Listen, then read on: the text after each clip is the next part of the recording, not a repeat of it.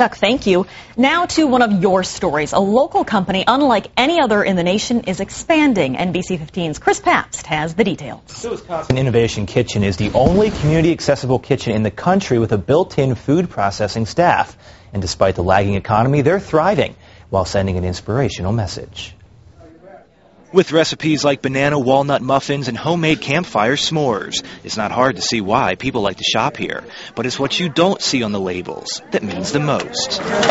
This is the brand new Wisconsin Innovation Kitchen in Mineral Point. It's a food processing facility and the largest community access kitchen in the region.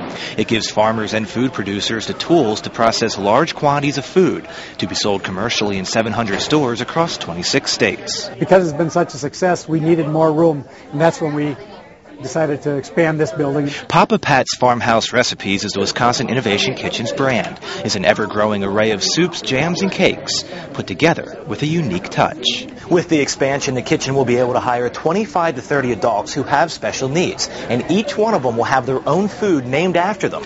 This one right here, Mitch's Cheesy Vegetable Soup. This is Mitch. It is very exciting for the community. He just started working for the kitchen, packing cookies and making soup mix. I like helping out my community as much as I can with the economy nowadays. It hasn't been much for me to do, but thanks to the expansion, it helped.